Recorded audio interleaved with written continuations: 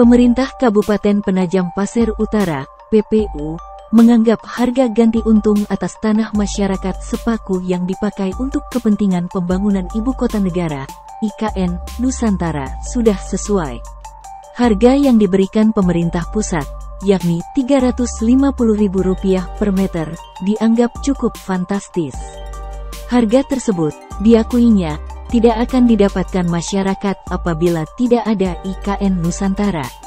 Hamdam mengatakan bahwa wajar jika masih ada segelintir masyarakat yang merasa keberatan atas harga tanah yang diberikan pemerintah pusat. Langkah hukum juga bisa ditempuh jika merasa keberatan dengan angka tersebut. Namun, diakui Hamdam, pihaknya tidak bisa memberikan intervensi agar ada penyesuaian harga lagi. Hal itu sebab besaran yang saat ini disepakati tentu sudah melalui pertimbangan oleh pemerintah pusat.